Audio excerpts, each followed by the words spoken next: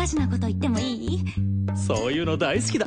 どこにも出口のない日々が突然に変わりそう。僕も同じこと考えてた。だってどこにも居場所のない日々で。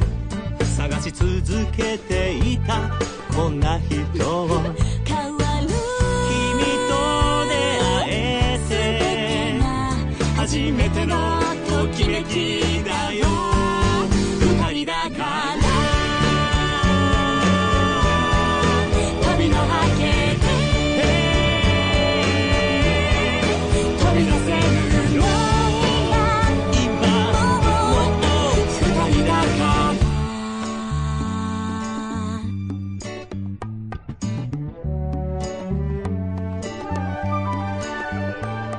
えてよ。何が好きか。サンドイッチ。僕と同じじゃないか。私たちはよ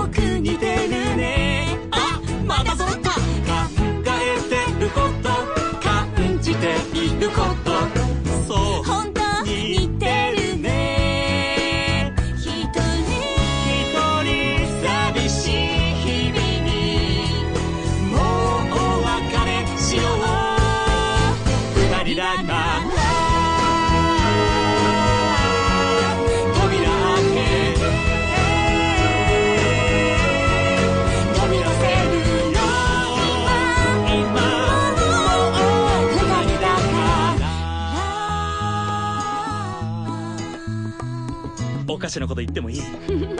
僕と結婚してくれ。もっとおかしなこと言ってもいい？もちろん。